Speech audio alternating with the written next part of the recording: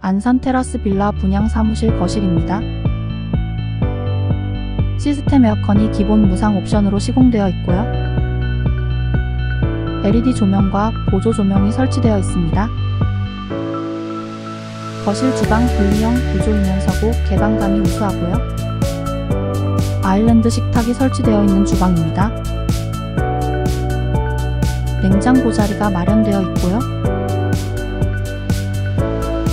가스쿡탑 설치에 주방 창문이 설계되어 있습니다. 주방 옆 베란다고요.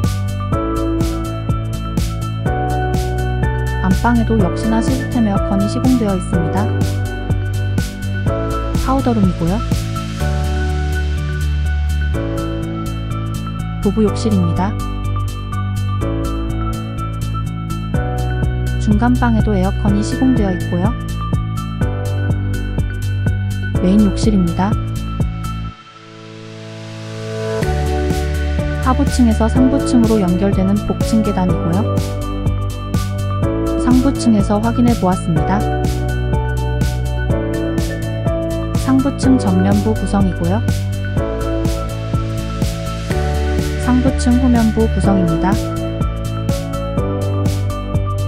상부층 중간방이고요. 욕조가 시공되어 있습니다.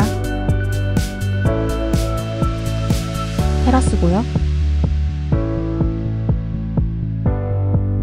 퍼스트 하이츠 분양 사무실 현관입니다.